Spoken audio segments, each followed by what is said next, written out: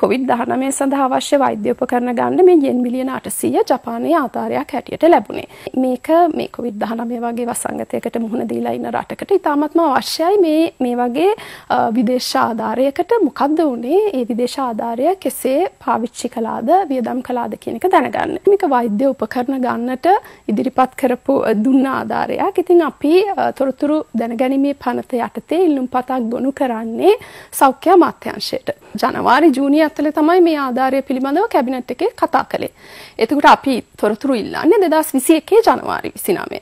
එතකොට මේ තොරතුරු ඉල්ලුම් පත මාරු කරනවා මුදල් අමාත්‍යංශයට. මේක අපිට අදාළ නෑ. මේක මුදල් අමාත්‍යංශයෙන් තොරතුරු ලබා ගත යුතුයි කියලා.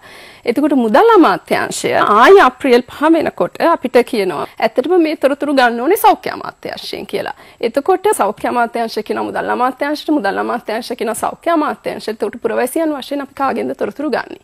ඇත්තටම මේ ප්‍රතිපා මේ තීරණය ඇගීමට ලක් කරන්නට අවශ්‍ය තොරතුරු අවසානයේ අපිට ලැබුණේ නැහැ.